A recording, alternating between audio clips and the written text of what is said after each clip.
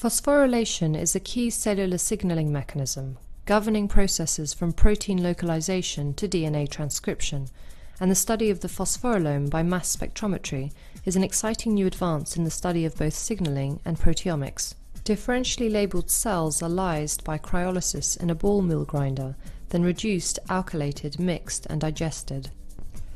The digested peptides are fractionated by hydrophilic interaction chromatography, and phosphopeptides enriched from fractions by IMAC enrichment.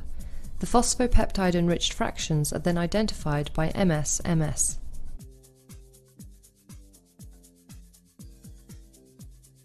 Hi, I'm Ramsey Saleem from the Yeast Group at the Institute for Systems Biology.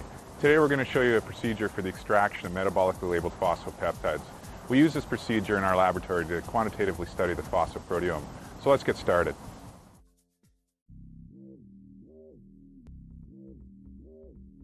This procedure begins with growing isotopically light and heavy yeast cells. First, inoculate 100 milliliters of rich media with a single colony of yeast cells.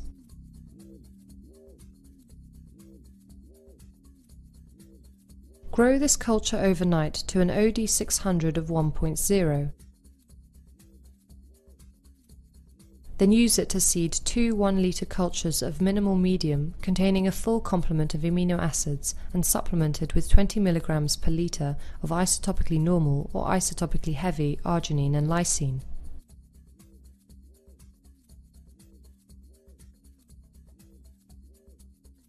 Grow both 1 litre cultures for 18 hours to an OD600 of 1.8.